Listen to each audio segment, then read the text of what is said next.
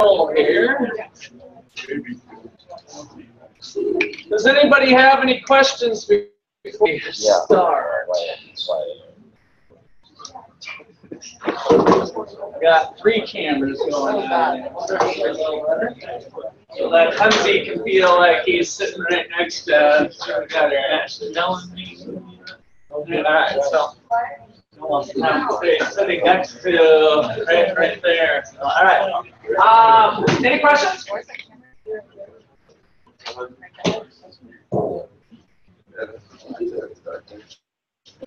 Alright, um, so, we left off last time the demand curve for bottled water.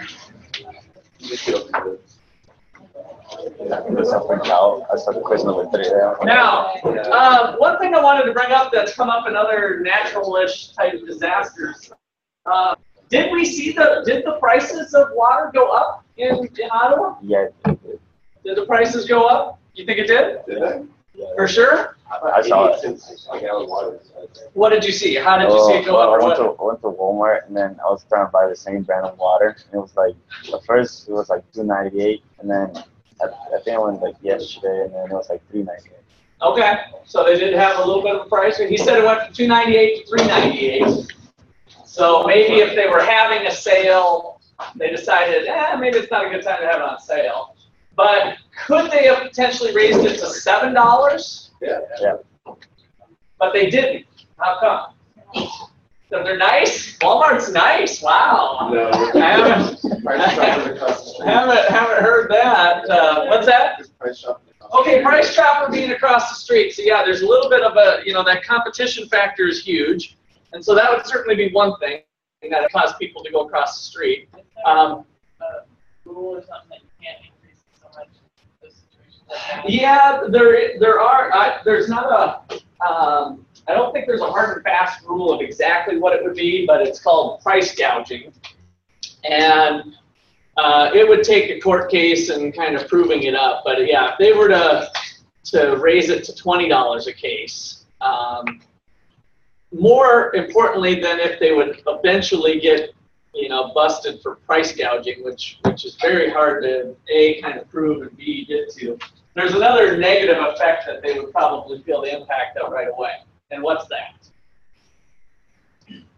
Losing customers. Just losing customers to goodwill, right? I mean, it, you know, what, it, raising the prices in, in that case. So some economists would argue that, well, raising the prices, um, is, is kind of a natural thing to try to keep those shortages from going. Because without raising the prices, in some cases, um, you know, in some cases they're just good old fashioned gouging and trying to make a bunch of money. But in other cases, if they don't raise the price, then they'll sell out all the water really quick and they'll be right? So that pricing mechanism helps uh, some shoppers go to maybe they have to drive to the next county over to get the more regular price water. You see what I mean? So it kind of helps distribute things around if it's not uh, if it's not too great crazy. So so uh, but you know it doesn't sell too well with the public if they're jacking up prices when there's a disaster. So companies tend not to do that.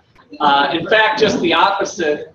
Um, some companies might have a sale or even donate water, right? Just to try to, for reputation purposes. So, um, well, the reason I wanted to bring that up is that on the board, our prediction long term would be that there'd be upward pressure on prices. So again, the insights that the economic model gives us is that in a situation like that, we would expect upward pressure on prices.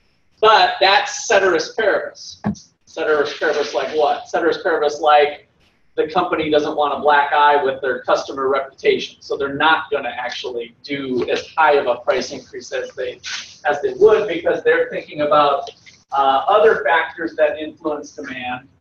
And so yesterday we had, or not yesterday, two days ago, your picture that you have was a shift to the right of the demand curve from D1 to D2, causing what we predict as an upward pressure on prices from P1 to P2 and equilibrium quantity to go up. So this is the picture that you guys had Monday, and so that's our prediction, is that there would be an increase in price and an increase in the equilibrium quantity demanded. Again, ceteris paribus, because the only thing we're changing is this crisis of uh, potentially contaminated water, that nobody can drink the water in town. So what I want to highlight is that if they do indeed do that, they're not thinking about, if, if a business is being smart, they're not thinking about uh, short-term changes for short-term profit, but what is the demand for their other products? And in the case of Walmart, there's a supply and demand curve. If this is bottled water, of course, Walmart has thousands of other goods, and they're worried about the overall um, um, sales of their store. And so if they jack the price up on water because they could do it over this two to three day period, they're going to decrease the demand for probably bottled water long term because they're a bunch of a-holes, right? We've changed their taster preferences for Walmart sold water, right? So on your shifter list, the taster preferences, if we just don't like those people and we think they're evil, that's going to decrease the demand for bottled water long term, right? So we're still thinking about the demand shifters and their impact on long-term profitability with the decision of Walmart likely not to raise water prices too high. Again, maybe they would have had a sale price and they decided, well, we don't really need to hold that sale today, right? And so maybe they maybe they went from 298 to 398 if they had some sort of special going. So, uh, but they're not going to jump into raising prices too high because of other factors. All right, any questions or comments there? All right, so jumping into the supply shifters today. So the law of supply we did, and the law of supply was if there's an increase in price, what happens to the quantity supplied? Does it go up or down?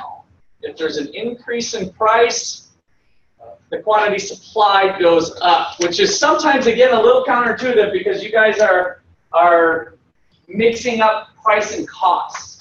That's not, we're not talking about costs. In fact, we're going to get to costs here, but it's the sale price. So if Walmart is able to um, sell more uh, bottles because of, or if prices go up, in fact, this picture does it perfectly for us.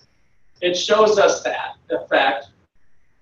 The law of supply says if circumstances change where people are willing to pay a higher price so Walmart can get a higher price, they respond to that. They increase the quantity supplied from 100 bottles to 120 bottles, right? So the quantity supplied went from QS1 to QS2.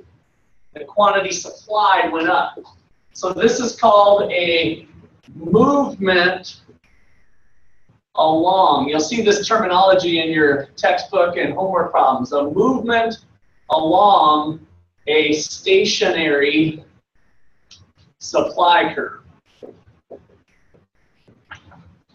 is a change, which I usually use a little triangle so you can start to get used to that notation, a change in quantity supply.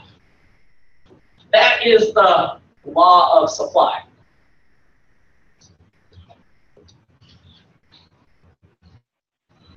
So I like to highlight that first because that is not on the supply shifter list.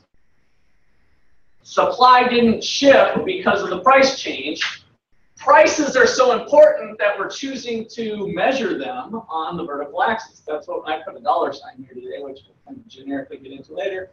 But we're measuring price or dollars on the vertical axis.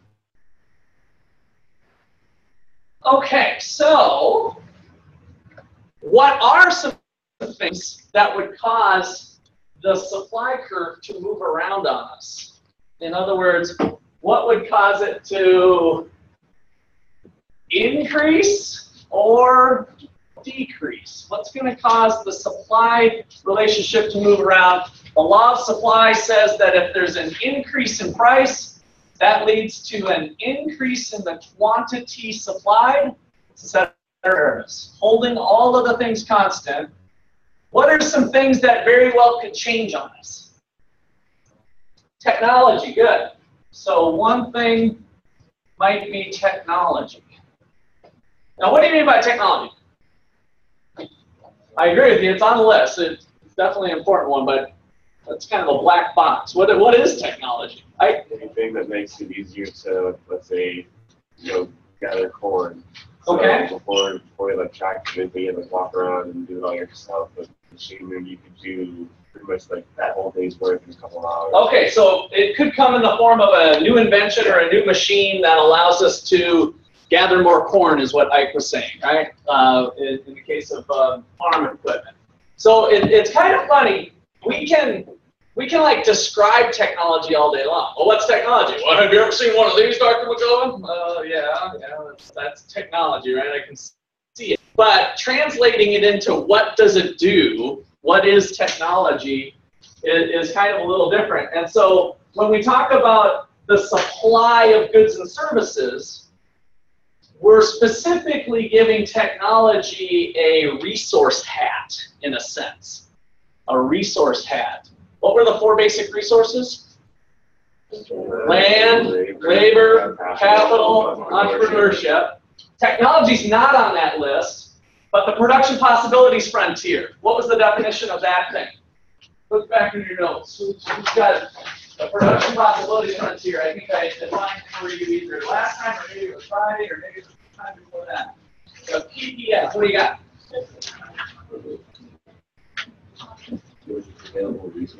Good. Good. So shows the maximum combination of two goods an economy can produce given its available resources, land, labor, capital, uh, and entrepreneurship, and technology. So technology, if we really boil it down to it, is it a machine? No. Is it a person always with some sort of knowledge? No, but we're getting maybe closer, right? Yeah. Okay, yeah, so it, it's how efficiently you can do it, right? Which might be a combination of machine and person, right? So technology is kind of this elusive thing. At the end of the day, technology is really just information, right? It's kind of like do it this way and that would be smarter. Oh yeah, that's a that's kind of a new technology, and it, it influences how productive we can be. So in the production process, uh, a change in technology leads to an increase in our productive capacity, right? Our uh, productivity. So an increase in technology leads to an increase in productivity is how it affects the supply curve. This is kind of the, the production, productivity is the production uh, function. If we think back to our, uh, where's my things? Oh, that's right, I left them, they're in my other bag because I left them for this class. Uh, the picture that I had before, where we're trying to turn the basic resources into pizza, clothing, basketballs, beer, chicken wings, right? The production process. Technology helps us make more of that stuff with the same amount of resources, right? And when we start to think about um, a machine replacing a person, did we lose that person? When we think about a machine and a person, did we lose that person? No. So there was a substitution. Let me let me give you an example of this. Um, fact, let me just put it right underneath this. This is as good as good a spot as any. I'm just going to draw a little production possibilities frontier back to our. Um, let's go with uh, quantity of beer and quantity of pizza, just to kind of recollect back to what we were doing before. So the production possibilities frontier shows the maximum combination of two goods an economy can produce given its available resources and technology. All of the points along the frontier were what? What did we label them? Efficient. What kind of efficient? Which one? No, a P though. You were close. Definitely. Productively efficient or production efficiency. So all of the points along the frontier were equally productively efficient. So what I left you with at one point was which point are we going to be at? That was our point that was allocatively efficient, right? So that was according to preferences, and that's what kind of led us into our demand discussion, uh, which was really the chapter three stuff. So if we have a change in uh, pizza production, there's a new pizza machine. We used to hand roll all of our crusts, and now we've got this machine that can replace what five people used to do with one machine, right? So our typical uh, story of technology. Will that new pizza technology, will that new pizza technology get us any more beer? Probably not. Here's the magic of economics. Watch this. If we take this production point, if we take this production point, that's our ceteris paribus point, and I say, hey, there's a new pizza machine or a new pizza technology, right? That'll allow us to go from having hundred pizzas to having 150 pizzas, right? That machine helps pizzas. You don't disagree with me there, right? That's why you're shaking your head the other direction. So now there's a shift of the production possibilities frontier. And that shift looks like this. Didn't help beer out. That was kind of your guys' answer. Didn't help beer out at all. I kind of did my little high there, but this endpoint is the same. So if I had 100 beers before as my maximum, I have 100 beers now. So I can now have 150 pizzas. That was your gut feeling. But here's the economics of it that we too often overlook is that along this new frontier, we can be anywhere. We could be here. Is point B better than point A?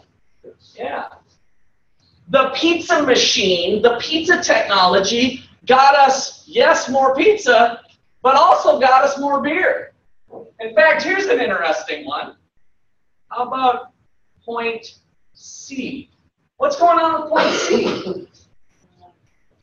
Same amount of pizza, more beer, but it was a pizza machine. A pizza machine got us more beer. How? We reallocated, right? Kylie, a little louder. All right, reallocate time and workers, right? So that machine didn't do anything, but if that freed up five people, in the short term, what the media tells you is that that pizza machine caused unemployment. People lost their jobs at the factory. Pizza, people lost something somewhere, right? And I don't deny that. They did. There's a short term impact. But if now people who were really good at doing dough figure out how to brew some beer, there's new job openings all of a sudden at the beer factory. Maybe as a society we thought, you know what, we uh, it's nice that we got this pizza machine, uh, but we've about been eating as much pizza as we can. Let's just shift more resources into beer. We can have the same amount of pizza we were having before, and look at all the beer that we got. That's pretty awesome. That's why technology and change is so important in the economy. It turns out not to matter what good had the technological advance for economic growth. We can all have more of everything, potentially anyway. Remember, we're talking about production possibilities, production potential. Ultimately, after the dust settles, no matter what change in technology there was, it causes more of everything through this reallocation of resources. Pretty powerful. Questions or comments there? All right, so um, from the from the supply standpoint, of a specific good, if we're back into bottled water, if there's an increase in technology, that allows us to crank out more, more bottles of water for the same amount of resources. Which means that I can do them usually in a less, least costly way. It's a little bit cheaper, right? So the technology causes an increase in productivity. Productivity is a word that I know is a little abstract for uh, for most people here jumping into it. So productivity is really the number of units of output of bottled water of what we're making divided by the number of units of inputs. Whether that be labor, whether that be machines, we can measure productivity. And so the idea here is that I, a new technology makes a person more productive, for instance. I used to only be able to, uh, what was our machine, what was the example you gave? I guess it was on pizza boat. Before that, about some other technology. Huh? Corn, yeah, yeah, yeah. So I used to, I used to, one single farmer on average per farmer used to do 100 bushels. Now with the new machine, they can do 500 bushels, right? So 500 bushels of corn, number of units of output per one farmer, per one unit of labor, right? Goes from 100 bushels to 500 bushels. That's pretty cool. That gives us the ability to be a little more profitable with it. And so that's going to tend to increase supply. So an increase in technology at the end of the day leads to an increase in supply, which is a shift to the right. A shift to the right. Now let me show you why I'm kind of getting hung up on the right and left stuff. A shift to the right means an increase in supply is going to head this direction, right? Is that down or up? That would be down if we're in the up-down language, right? So a shift to the right. Now, when I did the water bottle thing, this was an increase in demand, which was a shift to the right, which would be kind of in an up-down world, up or down? Up. So in this case, an increase in demand was kind of an up, but an increase in supply was kind of a down. See how that screws you up? The up and the down are flip-flopped. But if you're left and right, not only does it make more economic sense because again, we're thinking about the price change at each price, what are we doing? But it also keeps you straight in terms of left and right. An increase is always a shift to the right, no matter if you're talking about supply or demand, and a shift to the left is always a decrease. Okay, so that's the whole left and right business. All right, good. So technology, that was a good one.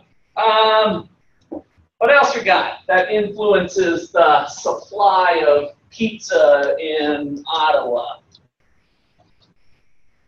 Or the supply of bottled water, if you want, but I kind of like thinking about the Pizza Village or, or Pizza Time on Main Street. What else causes a change in the supply or the supply of pizza in Ottawa? In the, if we think about the market being the city of Ottawa, Competition, good. So if there's more stores that open up, that's going to increase the supply of pizza. Not for any one particular company necessarily, but for the market there would be. So one of our other shifters is the number of suppliers, the number of companies, the number of firms, the amount of competition, if you will, if there's an increase in the number of firms, that's going to be an increase in the supply curve, a shift to the right. So more companies enter, there's more companies producing. Holding all of the things constant. All right, running our pizza place, thinking about the market for pizza or possibly an individual pizza shop what else would change the supply of pizza? The amount of resources. Okay, so um, if you're running the small pizza shop, um, it's not so much the amount of resources per se, typically, But what about the resources? Yeah, so kind of the, if they're scarce, the price would go up. So it's the price of resources that drives that individual decision, right? So that's number three. This is probably one of the most important ones. The price of resources. The price of resources is really the cost of doing business, right? This is the cost of doing business.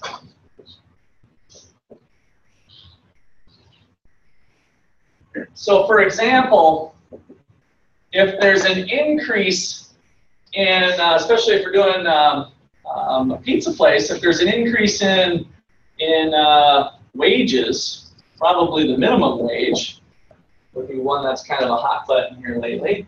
If there's an increase in wages, what happens to the supply of pizza? Goes down. So left or right? Left, which kind of looks up. So always gotta be careful with the down, up, down stuff, right? So a decrease in the supply. So an increase in wages causes a decrease in the supply of pizza, for instance. So if minimum wage goes up, companies are going to find it uh, more difficult to um, supply pizza to the market. What happens incidentally then to the price of pizza when wages go up? Prices go up, right? So if we're in this market again, just for illustration, if that thing's moving up, the price of pizza is going to go up, which makes sense. The, those costs have to be covered somehow. So it's going to put upward pressure on, on pizza. One of the things that hardly ever gets talked about in the media with the minimum wage business, which I don't agree with one bit, by the way, for multiple reasons that I'll share with a few with you now, is that if the minimum wage goes to, I don't know, fifteen dollars an hour, and you're a pizza place that's normally been paying your employees seven fifty, eight, nine, ten, I don't know, pick a number. Nobody's paying fifteen for most of the hired help here in Ottawa. What is the business going to do long term in terms of the pizza production process? Increased prices, they're going to have to do that to some degree somehow. So that's going to be along decrease the amount of employees it takes, right? So they they have to cut back, and then what else might they seek out? So they they have to be able to make the crust somehow. It normally took five guys. They were employing five people at eight dollars an hour to make the crust. Kind of getting back to my crust example. Minimum wage goes up. That has a large impact on the bottom line. All of a sudden, what becomes kind of cheap? that machine, right? So, how many of you have seen a change at, take a place like McDonald's, on their production process? Do they use a lot of machines in their production process? Do some of the fast food places have people in India that are actually taking your order at the drive through window? Do you guys know that? Uh, Wendy's uh, experimented with that. As far as I know, they're still doing it. But when you say, hello, can I take your order? That person's in India. They're not sitting in behind the booth over there. They figured out that to take an order, they can they can do that. In fact, they find that their labor that's specially trained in taking that order that live in India, who are putting in a longer shift and taking on uh, calls from possibly uh, multiple restaurants when when it's lunchtime in uh, when it's lunchtime in New York, it's not lunchtime here, but then the Wendy's, when it becomes lunchtime and they get heavier traffic, they can take orders in, in the Midwest, right? So by having that person specialized, they're really always on the spot with, well, would you like to supersize that? Would you like a shake? We have these new tasty shakes that are new on the menu today only. They do that better than our American counterparts who have a labor turnover problem of teaching the high school kid what to say at the microphone, right? The long training process. These people are specialized sales specialists that can upsell. So they see an uptick in their uptick in their sales uh, through the drive-through window. by being able to shift resources differently. So all of that upward pressure on minimum wages tends to uh, take away jobs here. Many people are too far short-sighted, not thinking about the long-term implications of substituting machines for people, uh, less customer service, you know, the whole, the whole list goes on. Uh, Seattle passed the $15 minimum wage, and youth unemployment, age 15 to 25, is 33%. So now we've got a culture where high school kids can't develop a work ethic early on because they can't find a job. Okay? So uh, to me, the, the impacts of that um, are always uh, tend to be brushed under the table because people look at, oh yeah, everybody deserves a $15 wage. That sounds like a good idea, except for the people who aren't working. And unfortunately, you can't go interview those people very easily because they don't know that they're going to lose a job when it changes to $15, right? It's only after the fact that we start to be able to interview uh, maybe some of those folks and, and struggles that they're going through uh, for not having a job. Okay, questions or comments, Sarah? So this, of course, uh, you know, works for um, um, machines as well. So if there's an increase in the price of uh, computers or machines, so it's price of resources in general. All right. Um, let's see. Next one that's a little difficult. Price of related outputs. Price of related outputs. Price of related outputs.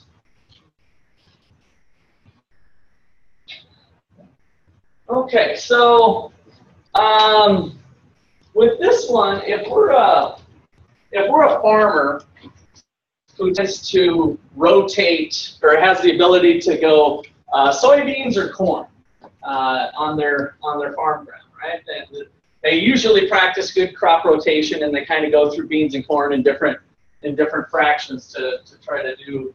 Uh, they, they got the long-term thing with soil preservation. So, but if there's an increase in the price of soybeans, if there's an increase in the price of soybeans, what happens to the supply of corn market wide? Do you think if there's a pretty dramatic increase in the price of soybeans? What do you think is going to be the impact in the corn market? It's going to go down because they're going to chase the soybeans, right? Soybean prices are good. Let's put soybeans in this year. Not everybody, maybe they're doing crop rotation, but there'll be uh, an incentive there to plant beans this year or more beans than maybe we would normally. And so that's going to lead to a decrease in the supply of corn.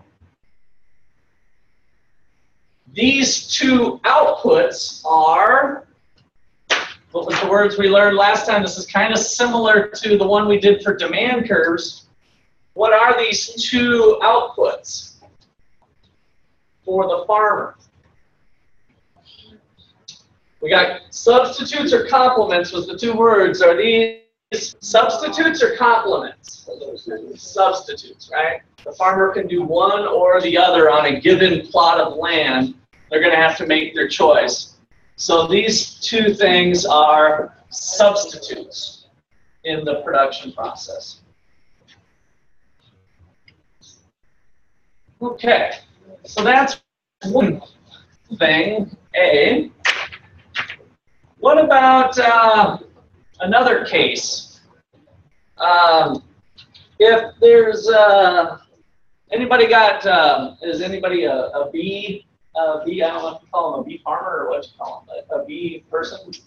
You're family beekeeper. Thank you. I knew there was a word. Uh, any beekeepers, family back at home? Anybody keeping bees? Usually, I find more people with bee allergies or bee sting allergies than I do people keeping bees.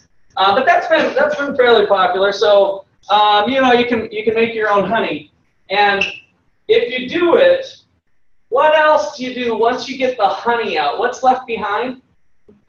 The honeycomb, what's it made of?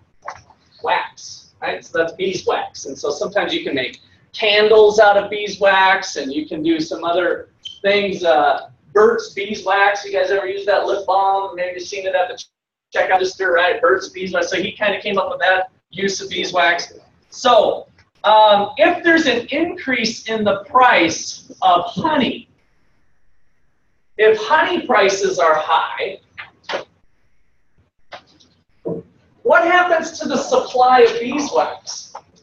It goes, I heard it up and down. Which one is it? I heard a couple people. So if there's honey, what happens to the supply of beeswax? It goes up, right? So people are going to start doing more bees to make more honey, but as a result of making the honey, we get the byproduct left behind of beeswax. So there's an increase in the supply of beeswax. So these two things are complements in production. Complements in production.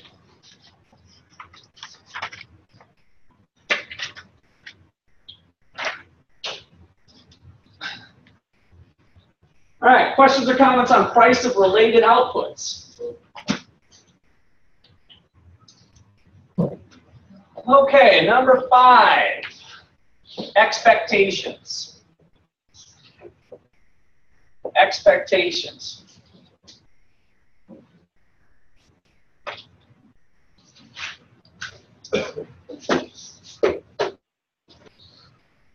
So expectations are kind of all across the board. Kind of depends on the situation is the first comment I would make.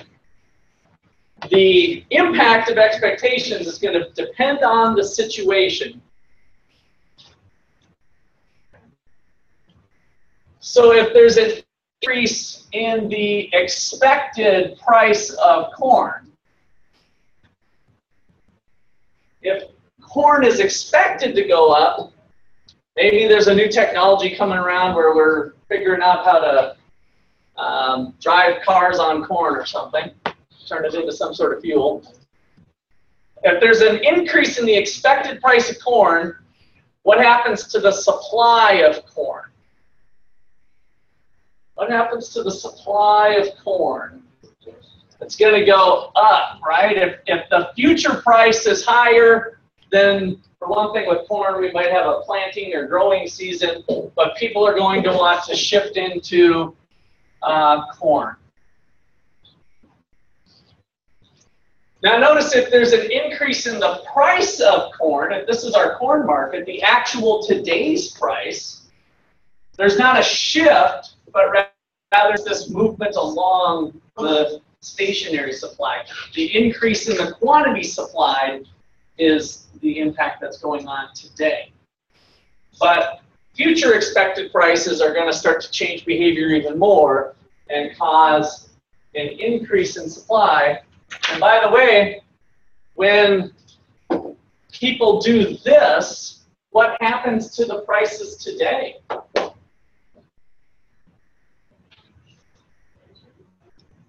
So if there, if corn, the corn market's expected to be hot down the road, what's going to happen to today's corn prices? Go down, right? So now some of you I can tell are starting to still kind of want to use your gut feeling. I want you to start to get comfortable with the model.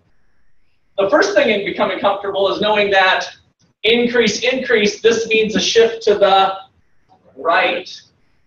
As this thing starts to shift to the right, prices start to fall. Right?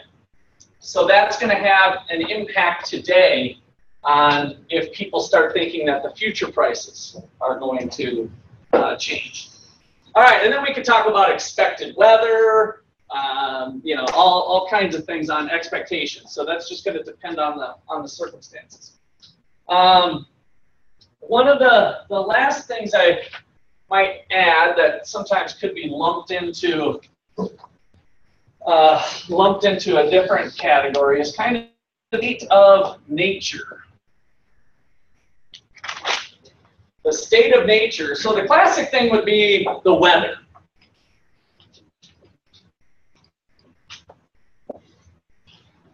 Um, if there's a natural disaster or something, right, and it wipes out the crop. Now, I did the bottled water exercise.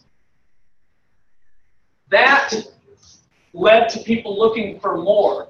But in the case of uh, maybe some crops freezing, that would take, uh, lead to a decrease in the supply, right? So if we actually are wiping out something through natural disaster, so weather, uh, natural disaster, that destroys the supply.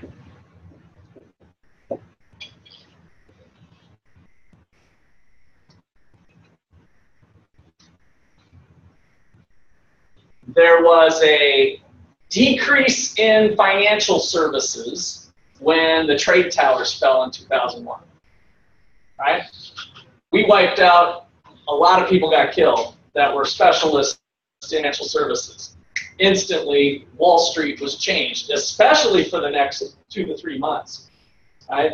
But even long term, the amount of people that got uh, killed in, in that event changed the supply of financial services. Since Wall Street is such a, uh, a hotbed of financial services. Okay, so that's all the supply stuff. So now we've got uh, both of them on the table. I recommend that you memorize the list of supply shifters. And so come up with your with your way to memorize them. Let's see what story I could possibly tell today. Ah, let's see, that's an N, I guess, huh? Ah, to not predicts evil. What? Oh, Help me. Stools. Thank you. It was so easy. I just couldn't do it. So you guys come up with your own memorization, but if you want to run with this one, to not, this was number, to not poop predicts evil stools.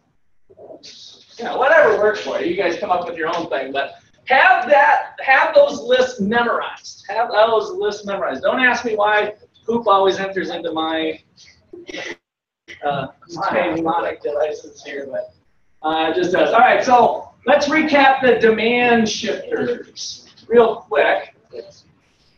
So number one, taste preferences. And we can take them out of order, I don't care. It really doesn't matter what the order is, but you might want to preserve your own. Income, good.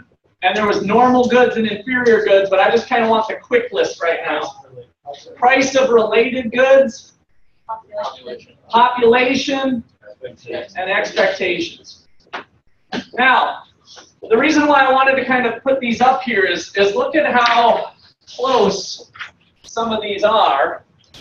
Um, some of them are very similar. So we got the price of related goods is kind of like the price of related outputs. Expectations, of course, were like the expectations.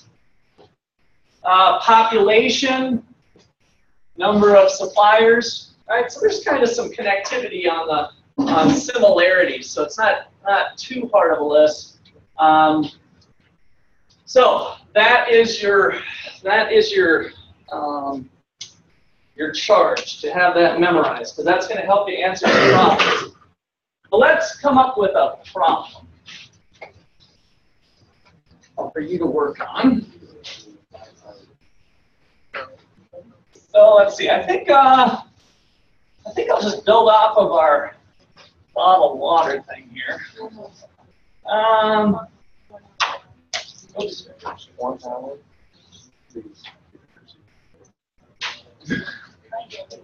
Uh, no, let's go a different direction. Um, give me, give me some sort of food product.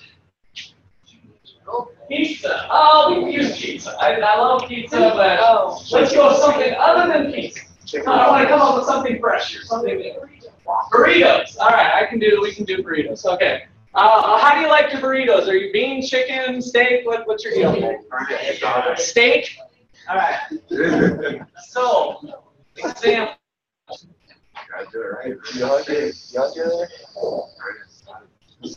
Suppose the FDA Yeah, it is. determines that um, steak Still, causes cancer.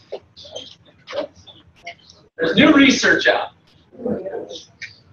Um, what is the impact So. of this finding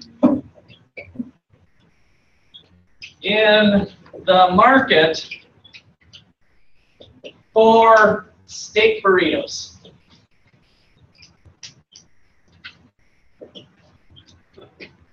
Use supply and demand and show the changes in equilibrium price and equilibrium quantity. Suppose the FDA determines that steak causes cancer. What is the impact of this finding in the market for steak burritos? Use supply and demand and show the changes in equilibrium price and equilibrium quantity. So, you can work with your neighbor if you want. I'm going to come around. I want you to I want you to get this get this going here. I'll give you a couple minutes to work on it. You people online, I'll check. We got Jackie and Hunzi, so make sure you're writing on your papers. I'll come check with you two as well. In fact, uh, this might be kind of fun, Jackie and Hunzi. You guys can share your screen if you want, but then you'd have to have a camera on it. Never mind, you're better off just holding up the paper. But there is a share screen function. But, so, go. Go, uncle.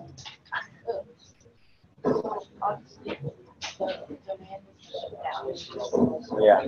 The steak. This is equilibrium price and equilibrium quantity. P star and Q star. You guys have the business. All right, what's going on?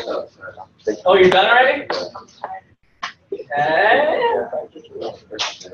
All right. Maybe explain explain in words a little bit what's going on. It looks pretty good. Alright, Okay, you're a little little sloppy here, so I want to make sure you got labels there.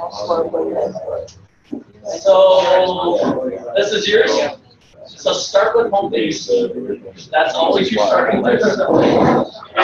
If you're stuck, go to home base. That's your first starting place. Talk about just do the old good. Uh, your label's wrong there, right? Make sure that's a little dollar sign or a price. Go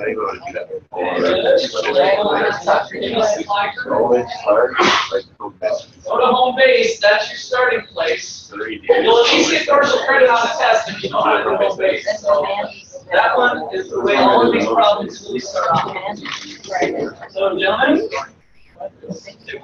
so we're we're starting on this problem. What's written in green is what we're working on. You might want to just start by writing that out. There, there's, there's all this.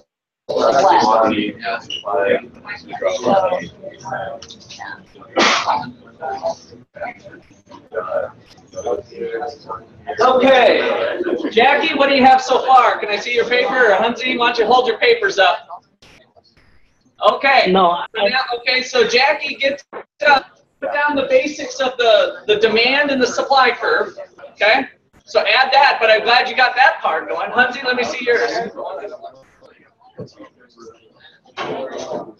Hunzi, let me see yours. Okay, okay.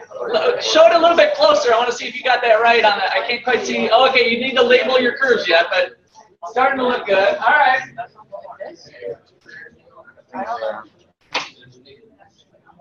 Oh, it's walking with my black. All right, so I tried to get all of these problems, even if you are frickin' clueless here, you will get partial credit on some test questions for knowing what home base is.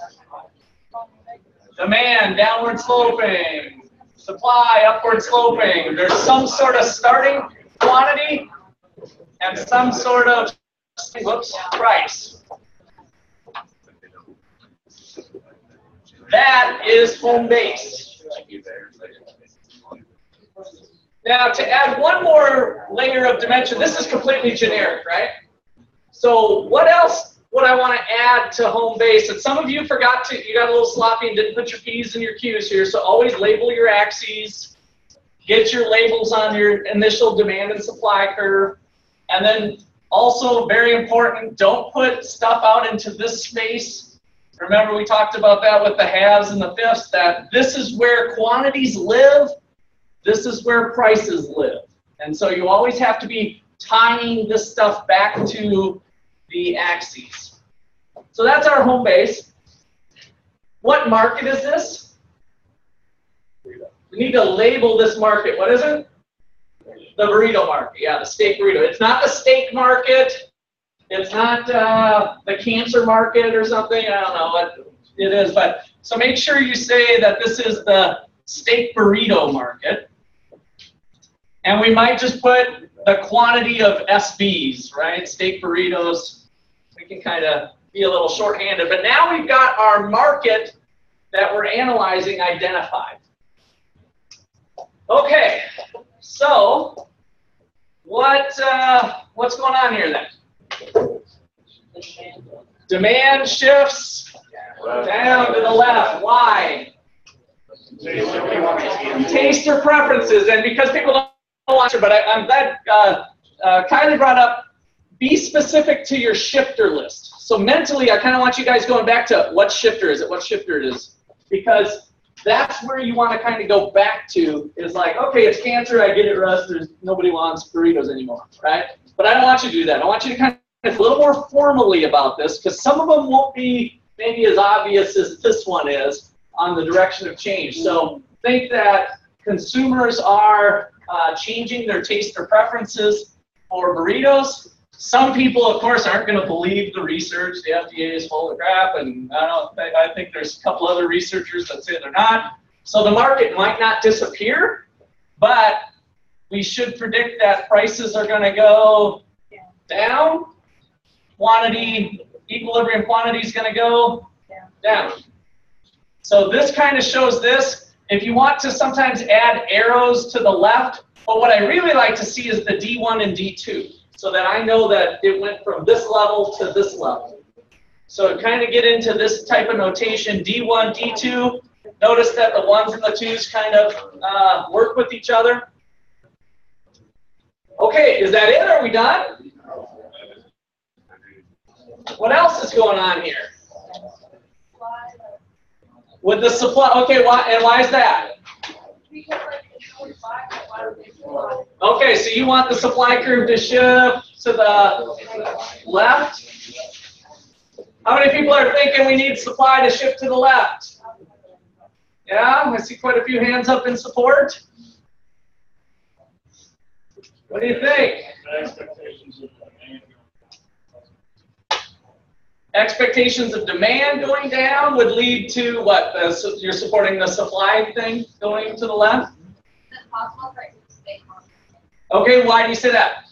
Because I mean, they're not like the production companies of steak, you know, the steak burritos are not gonna make more, but they're not necessarily gonna make less if they have them in time right now to make the already. So, and another way to maybe think about what you're doing is, are they making less because what went on with the cancer? Have they reacted to the cancer shock? Always gonna change their product. Right up here on the graph, not weaving any more stories, has the suppliers, have they changed their behavior based on the cancer deal? No.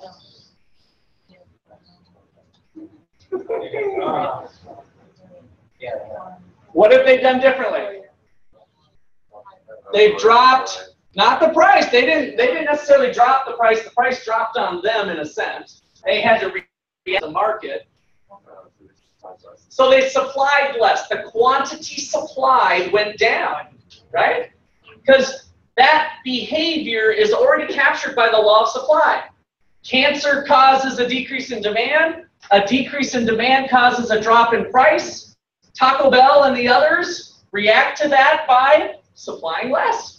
It's, it's going on right here, right? So the supply went down from 80 burritos per day to um, 55 burritos per day or whatever, right? So they are indeed supplying less. Remember what makes equilibrium, what makes this little star thing? When we talked about equilibrium last time or maybe the time before. Yeah, That when the quantity supplied the quantity.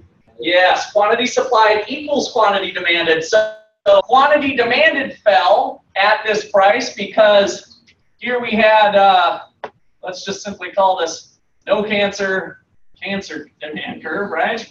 So at this price, uh, let me put a little more meat on the bones here. Uh, what's our burrito running? Four dollars in normal pricing Four dollar burrito. Maybe it's a little bit. That sounds kind of cheap we're at Chipotle or something. But uh, so we got a four dollar burrito, and now it's fallen down to uh, looks like two dollars and twenty cents, right? So we had a decrease in price because at two dollars and twenty cents, without cancer, people would want to buy this many, right? That quantity demanded still exists, if you will. So all of these are just collections of points. And at the equilibrium price, something special was going on. The quantity supplied equaled the quantity demanded. I go over to the supply curve, which is just where it was before, drop down. I go over to the new demand curve with cancer, drop down. They both equal 55. So the supply curve does not move.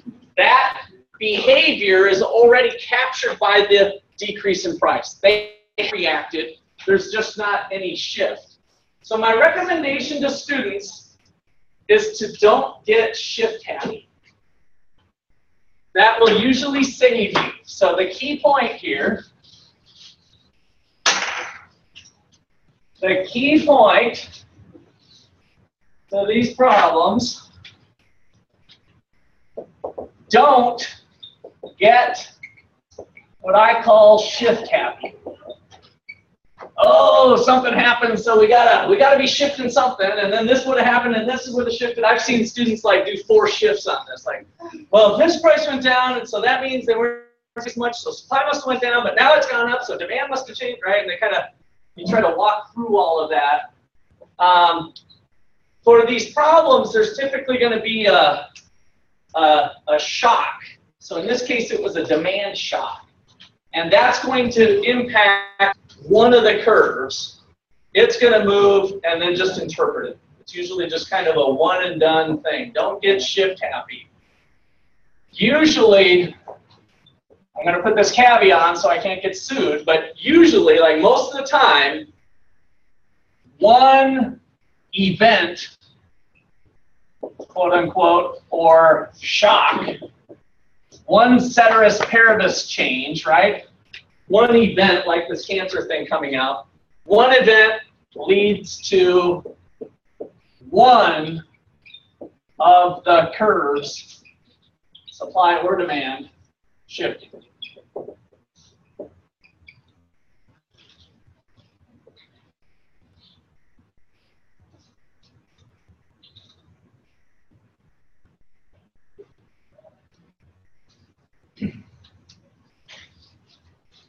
Okay. Um, Where would it, where would it affect more than one? what's that? Where would it affect more than one? Uh, that's what I mean. I can't think of any. So it's pretty much uh, there. There might be something with uh, a, a couple of them, like expectations, could possibly impact both sometimes. But for your guys' purposes, for the homework problems you're going to do, it's a one and a. Uh, it's going to be pretty much one event causes one thing to shift. And that's why you got to know your shifter list really well so that you know it's just the supply curve or it's just the demand curve and then interpret it and you're, and you're good. Okay, so here I will give you an example when both curves shift though. It's going to be something like this. So example number one, this is example number two, continued from example number one. Meaning, suppose the FDA determines that state causes cancer, and, so we're gonna go dot, dot, dot, and,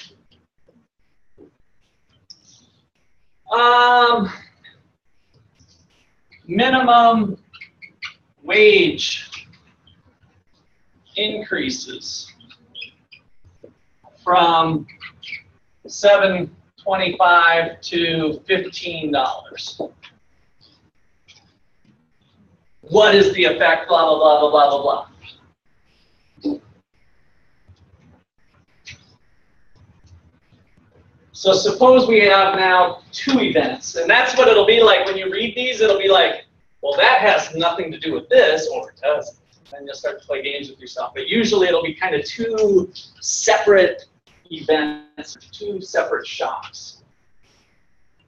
All right, so let me give you a couple more minutes. Tell me again, remember you still have to run through all the, the process. You might want to start with a fresh graph is what I'd recommend. Go to home base again and do these two. So for example number two, create a new graph and then make sure you make your prediction on equilibrium price and equilibrium quantity. And you can work with your neighbors or whatnot. Yeah. So what are like home base now be where we ended up on the first one or we? No, home base is a fresh start with two things happening.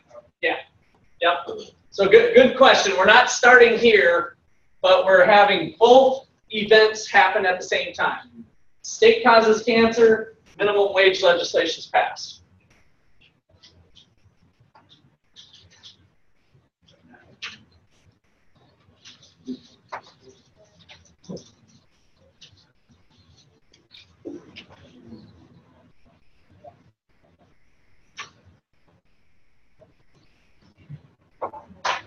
Okay, I'll come around and see how you're doing.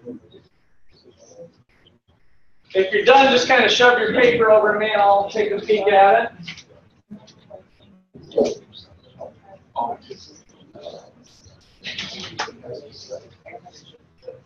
Okay, nope, something else going on. So that, that demand thing is still going on here. There's a supply Number one, yeah, one event police. needs one Supply Okay, looks like a possibility, but it's not quite right. Did you have like to send more? So one thing I want to make sure you get your base is you need to have what's going on there. Yes, that's- Yeah. So, right. Right. Yeah, yeah, right, yes. And then it's- So at the end of the day, you need to answer, what's gonna happen to equilibrium price? So, right, right. These problems are gonna go. Imagine running into a house. Quite right. Yeah, better Imagine running, answer. that's all, That's that's all I'm all, saying. yeah. Better answer. Good Sunday, Saturday. All right, yeah, you're on the right Just wanna track. kill, There is a better answer. Right? But you're not too far off. Oh, yeah. Definitely, I got the right thing, there's a better answer than what you got, but you're not too far off. Hey, come on, Cole, you're the business major. Come on, tell us. Uh, not the demand shock. So both things, both things happen, treat them separately. Okay, good, you're on the right track, but there's a better. Okay. Um. Always, oh, she gave us, oh, he gave us wrong. Answer.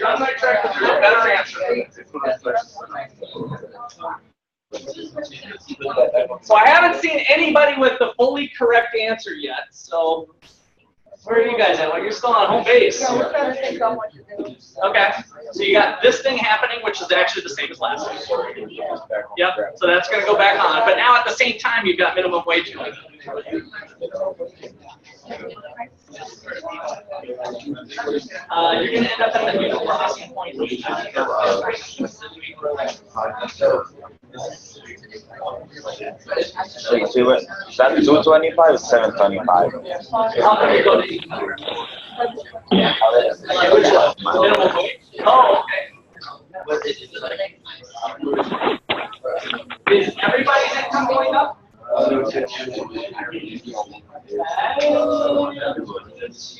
So how come we got demand going in the other direction. Because of income, you think the same thing? Oh, and this, this is, this is, uh, we're still at three. And that's where you're. Still in state three. Okay, yeah, I'm liking it, you're on the right track, but there's a better answer. But you're not too far off. Okay, yeah, know where the two, where the two wants to cross, yeah. Okay, you're on the right track, but there's still a better answer than that. Uh, yeah. No, no, this is fine, we usually do it as a so you are, uh, good, identifying that, so you have a new price type, right? Okay. All right, so, yeah, I'm liking that, make sure your P one's, uh, this is just dangling out in space. Oh, it's That's no good, yeah, you need to be on the new supply curve and the new demand curve, all right? All right, uh, see, Jackie, let me see. I have a question too. Um, Okay, yeah, I like that, that's a so possibility, when the, there's a better answer than that. when the minimum wage Uh, seven twenty, I can't quite see your demand curve. Do you have a demand curve on there? You can take your phone off. you see me? Yeah. Okay, demand curve. Yeah, you look like you've got the supply curve. so when the seven twenty-five Okay. quality works. I think you're missing one of the curves, but I'll, I'll help you out with it later. All right, let me go over the thing with everybody. All right, so once again, home base gives you some partial credit. So you guys are going to be cranking out home base all the time, all semester. P1, equilibrium price, Q1, equilibrium quantity. We're in the steak burrito market. Okay. Steak causes cancer. People change their taste or preferences. We got the demand shift to the left, just like we had before. Most of you, not all of you, but most of you had the right thing going with minimum wage. So some of you brought up the an increase in income. And so if there was an increase in income, what would happen to demand? That's one of our demand shifters. It would go up, it would shift to the right. Now, is that appropriate for this problem? Why? Not everybody's getting the minimum wage bump, right? So who is getting impacted by the minimum wage?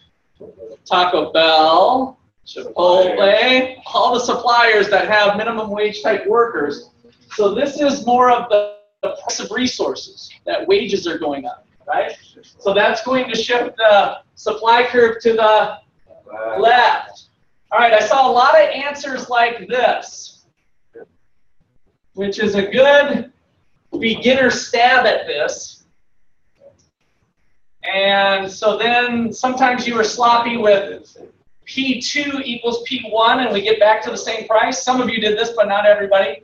And then equilibrium quantity went down.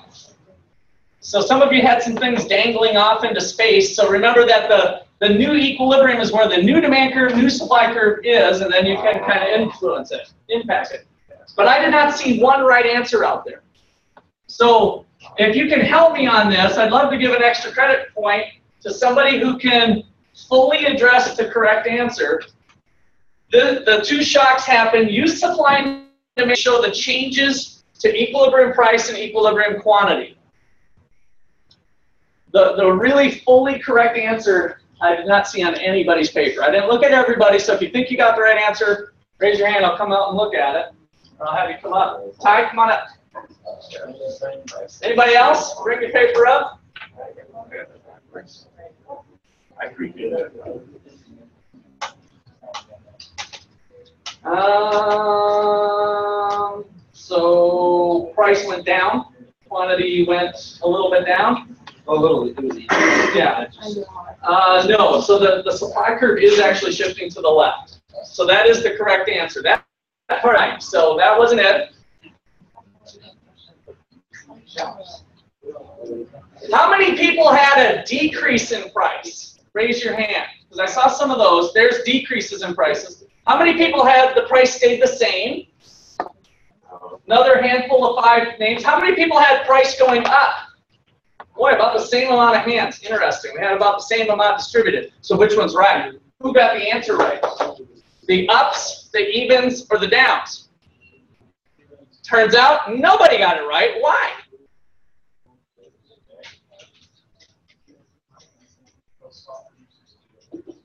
So let me review that again. Y'all are wrong, but equally distributed. Some people said, Russ, there'll be a decrease in price. Some people said there'll be price will stay the same. Some people said the price will go up. All of you are equally wrong. What is your cor- your most correct answer about your prediction with equilibrium price and equilibrium quantity? All of you, by the way, are kind of right, but kind of right is wrong in this case. The way the question's set up. There's not enough information. Excellent. All right. Uh, give you your name again. Emma. Emma. So what do you mean by that? There's not enough information to determine the price, is what I heard Emma say. I mean, as far as looking at costs, then we don't necessarily have any numbers to base. And what drives that result of whether you got an increase in price or decrease in price? What are the what's the driving factors there? We draw our line. Where you draw your lines, right? So in some respects, you guys were kind of right, the way you drew the line. But with this particular problem, we don't have enough data. There's not enough information to say how big the ship was. And in fact, it could have been here, which causes an increase in price. Or it could have been here, which causes a decrease in price. Or the supply curve could have been here, which causes a decrease in price. Or the supply curve could have been here, or here, or here, or here, or here, or here, or here, or here, or here, or here, or here, or here, or here, or here. Now, as we look at that little waffle that I created, what can you tell me about the waffle? Equilibrium could be at any of those points. Now, what about quantity? Quantity goes down for sure. So with quantity, we're for sure, if we kind of put a big star here, check it out. All of the possible equilibrium points all lie to the left of where we started. So the best answer for this problem is that we know for sure that quantity is going to go down, but we're unsure about price. It could go up, it could go down, it could stay the same. There's not enough information. All right? Questions on that? I'll write that out here so that we have the, uh, the correct way. You'll see this. All right. Um, so a couple notes. There was two distinct shocks, which typically means there's going to be two shifts. And so, um, there'll be a, well, I'll, I'll try to be a little more formal with this. So the cancer leads to a decrease in demand and the minimum wage uh, hike leads to an increase, oops, I mean a decrease, a decrease in supply.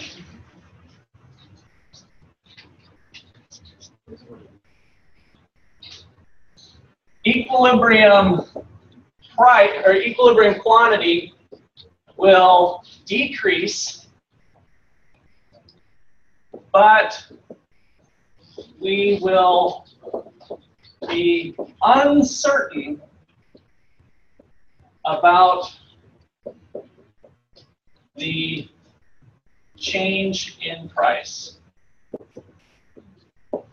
in equilibrium price. So cancer leads to a decrease in demand, and the minimum wage hike leads to a decrease in supply. Equilibrium quantity will decrease for sure, but we will be unsure about the change in price.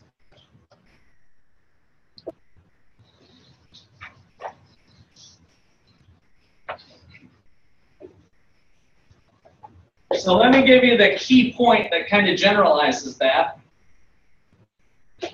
That you'll certainly see come up. So the key point. Whenever both curves shift, whenever, whenever both curves shift, you will be sure you will be sure about one variable, price or quantity, and unsure about the other. That's always going to turn out to be that way.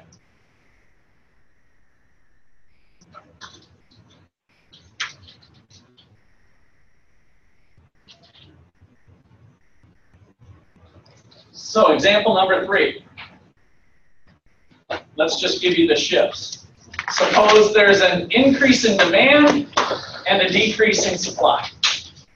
Again, a, a, one of the questions from your homework or test is going to be kind of a story with a shock. But let me just give you the increase in demand, decrease in supply. Go to home base, and you might want to try my waffle. My waffle. It's kind of fun, so I, I kind of like the waffle thing. The waffle thing might not be good for you to do on a test, but it might be a good thing to do in your side notes to kind of help you answer the question.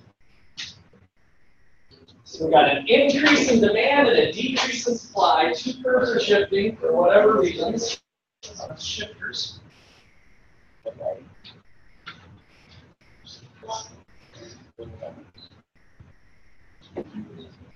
So first person with the right answer, extra credit point. Yep.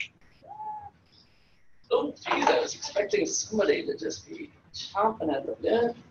So raise your hand. I'll try to look online too if you get the answer. Extra credit. Raise your answer. You can say got it or something if you want. Looking, looking. Be brave. If you think you got it, put it up. You got nothing to lose but being wrong. Who the hell cares about that? All right, there we go. There's one. Okay, what's your name? Matt. Maddie. What do you say? What's your answer? Yep. Uh, just no. I just want your uh, what happens to equilibrium price. What happens to equilibrium quantity? I'm just going to write it on the board as you say it. So. Okay, one goes up and one you're unsure about, or one goes down, or one goes. I, one. Okay, so which one? Okay, but uh, give me the result in terms. So let me go back to here just to show what happened. We were predicting what happens to price, and we said quantity goes down. So all I want is what happens to P star, and what happens to Q star. Is there an up arrow, down arrow, up arrow, down arrow, or a question mark? Question. Hold on, let Maddie go. This is she got extra credit on the line. Look at answers. Okay, quantity up and price up. Okay, now, how do we know that Maddie's not correct in this case? Because one we know about and one we don't. Now let me see your waffle, Maddie. I think since you were the brave, you were so soon to. I don't care that you're wrong. You're still going to get next year. That's wrong. Okay, so demand is going up right now. and supply is going this way. Okay, so what I'd like to see with your waffle is I don't know what he's talking about. all of this. Now look at look at where we started and look at all the I'm possible. hungry now. Okay. All right. So, uh, what's going on here then? Let me go to the back, way back, uh, let me go to James, is it? Yeah, Dylan put his hand up. Dylan put his hand up before. Okay, Dylan, what do you got? Um, you star goes up Up and you don't have a. and question mark. Okay? So let's check it out. Increase in demand. Don't do one when you can have more fun with more, right? So of the possibilities, demand could go here, here, here, here, here, here. Supply curve is going down, which is a shift to the left. Don't do one when you can have more fun. And we started here. That means we've got, I didn't even finish out my home base today. Q1 and P1.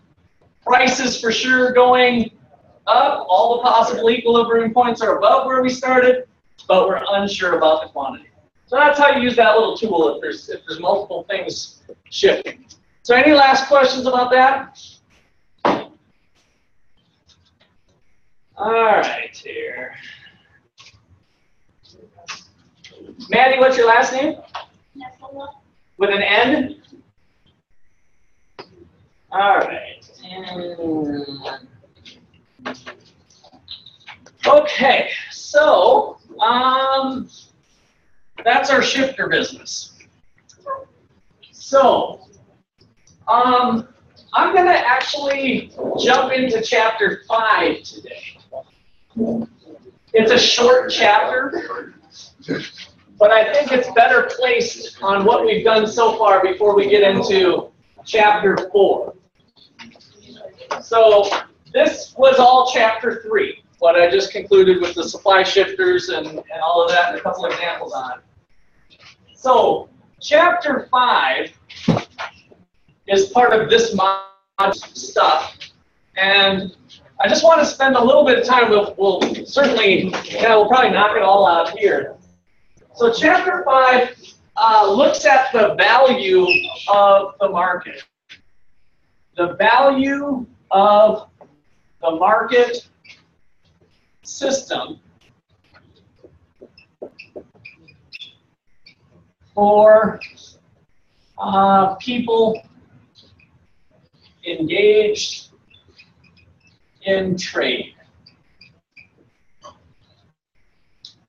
So we call this welfare economics, which I'm sure most of you are thinking food stamps and that sort of thing, but we're actually not talking about that kind of welfare. So welfare in the sense of, of kind of happiness or well-being.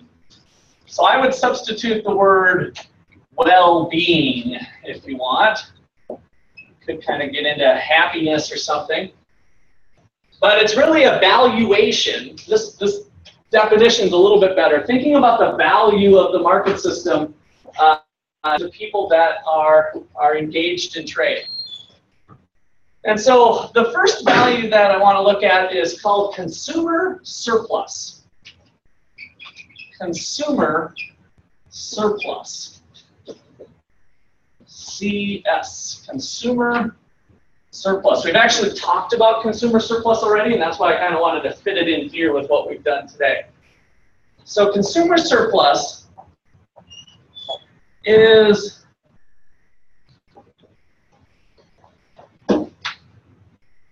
the difference the difference between what a consumer is willing to pay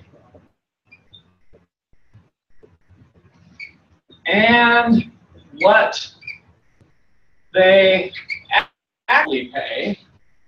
Probably better grammar with he or she there. Uh, what they actually pay, what they actually pay for each unit consumed. The difference between what a consumer is willing to pay and what they actually pay for each unit consumed. Consumer surplus. How many of you have bought something and felt like you got a deal on it? Raise your hand. Like to see all the hands in the air. I, I hope that you've done that, right? So hopefully if you're a deal, if you're a deal shopper, you do this frequently. Well, that deal is consumer surplus. The deal that you got is consumer surplus because the reason you feel like you got a deal is because you were willing to pay more than you actually did, right? You might have thought you got a good bargain and you paid a price and maybe you thought you could have beat them up a little bit more than you did, but you still ultimately paid less for the good than what you were willing to pay for the good. You don't let them know that, but you got consumer surplus, right? So on our graphs that we've been spending so much time on here, if we take home base, so go ahead and draw home base.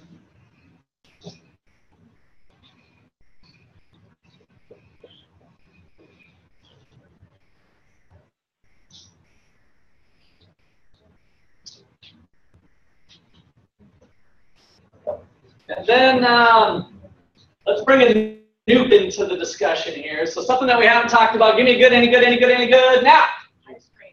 ice cream we haven't had. We had shoes before. Ice cream. All right.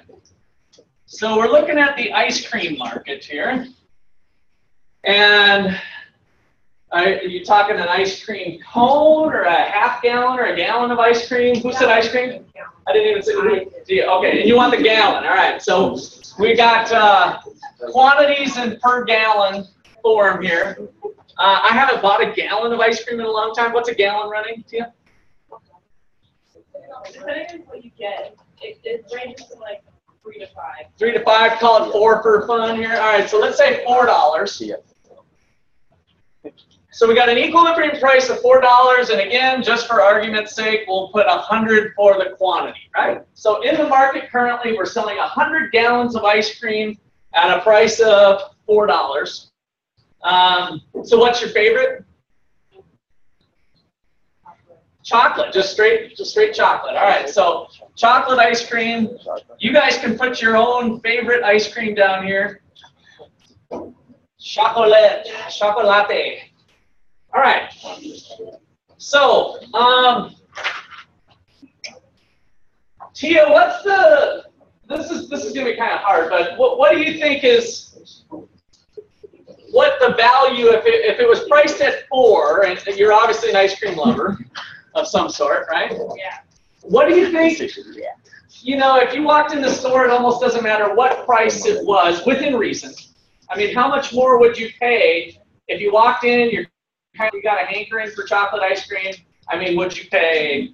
Would you pay six dollars if it just said six? Would you not really think much about the price because you just want it, or seven dollars, eight dollars, four dollars? I mean, I don't know, I don't wanna pay like that much extra, Okay, just.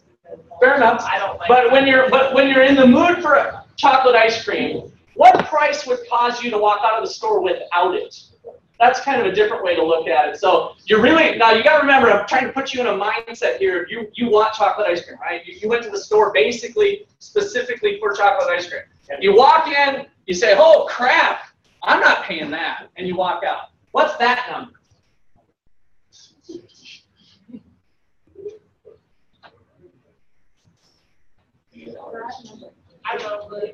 Eight dollars.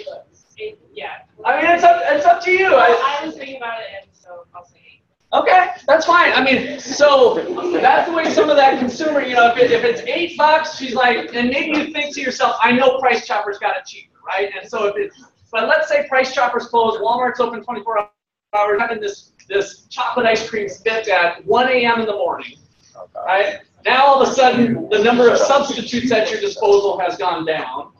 You might even go breaking the eight dollar ceiling. So the point with all that is that somewhere on here, people are willing to pay more.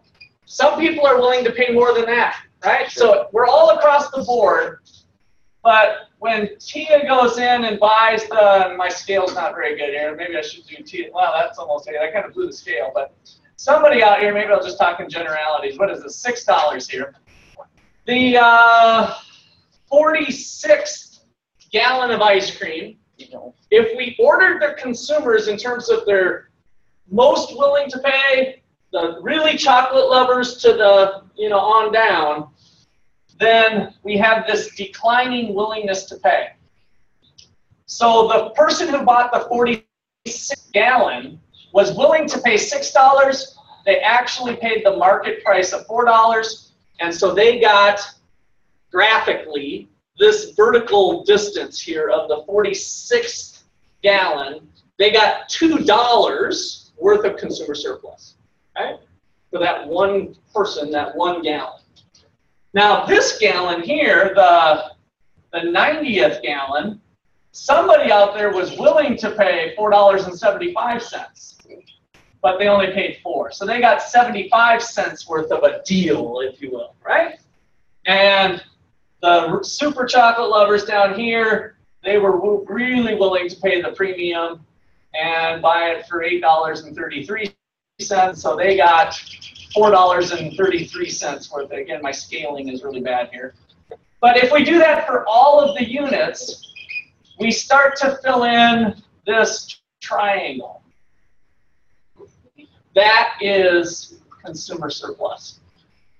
It's the market value of the ice cream. All of the consumers with various tastes and preferences, their willingness to pay, that is the consumer's benefit to having ice cream available at a price of $4. We're recognizing that uh, valuation is subjective and depends on the person. Okay, questions or comments on that? What is the consumer surplus of the hundredth gallon of ice cream? This is one will hang you up on your homework problems. What is it? Zero. Zero. Does that mean that person got screwed? No. No. They were willing to pay four dollars. They actually paid four dollars. So they didn't get screwed. What they were willing to happens to be what they actually got paid, right? So just because there's no consumer surplus doesn't mean that they got screwed. So don't be afraid of this last unit, but that is the way we're interpreting this is that we've got our, our marginal goggles on where we have the second and the 46th and the 90th and the 100th, right? Of uh, analyzing each one of these. Okay. Seven minutes. Seven minutes. Producers have surplus also. So, producer surplus.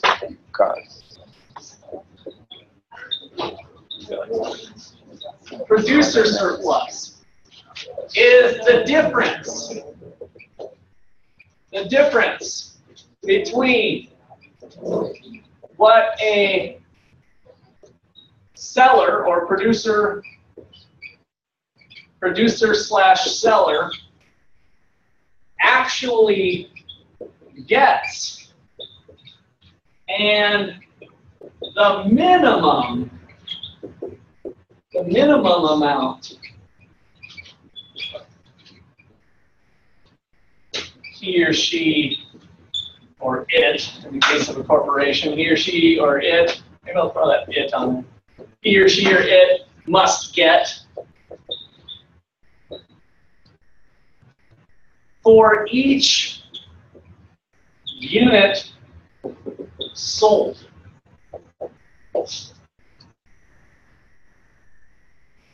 The difference between what the producer or seller actually gets and the minimum amount he or she must get for each unit sold. So, what is the price that the seller actually gets in our ice cream market over here? What is the price that the seller actually gets? Four dollars. Good. The equilibrium price. Ice cream's just selling for four dollars. They have a price of four dollars and they see how much they sold. So the amount that they actually get is P star, the equilibrium price in this example that we're doing. Now, if we go back and analyze gallon by gallon, The 46 gallon, the minimum amount they needed to get was somewhere down here at, uh, I almost put that in the middle, it looks like $2 maybe. And so the cost of the 46th gallon, because that's what the was, the last unit produced, the cost of that unit was $2. And so the difference between 4 and 2 is 2. So in chapter 2, we had some other labels to this. Instead of S and D, what were the labels in chapter 2? Marginal cost, and marginal. benefit. Good, marginal cost and marginal benefit. The supply curve turns out to be the marginal cost curve, the cost of each additional unit. And the demand curve is really the marginal benefit curve, the benefit from each additional unit. Now, it's not perfectly, what, what makes it a marginal benefit versus a demand curve is the dollars. So when we're thinking about marginal benefit, it's kind of like the well, I just get a certain amount of happiness. Well, how many units? 100 units of happiness. Okay, fine. That's your marginal benefit. The benefit measured in some sort of units that you made up. Fine, I can live with that. In fact, we're going to do that in later chapters. But when we express it in terms of dollars, what's this? What's the benefit of this unit worth to you? Ah, six bucks. Now it's a demand curve, right? So the demand curve shows the relationship of the willingness to pay for products. Because if you go out and buy it, if you're willing to pay that, that means you were willing to give up $6 worth of other stuff that you could have bought. Willing to provide a number. You actually only do four. But that's why the demand curve is the marginal benefit curve. So the second unit, the cost was something down here at uh, $1.30. And so the difference between $1.30 and $4 is $2.70. And we do the same thing for each one of these units, and we get this triangular region, which is called producer surplus. Now, producer surplus sounds like a profit, doesn't it? The difference between what I'm getting, what I sold it for, and the cost of it. It turns out it's not exactly equal to profit. And I kind of want to just leave it at that because we're going to kind of, no, we're not leaving the whole class at that. I want to leave that topic at that. So producer surplus does not equal profit, but is close. More on this later. Later. We'll talk about that concept later. So in other words, it's okay to kind of think about producer surplus being similar to a profit, but it's not it's not really profits. Okay, so that is consumer and producer surplus. That looks like a good place to wrap up today. So we will call it there. Wow, look at I'm letting you out early again. That's like two times in a row. Forty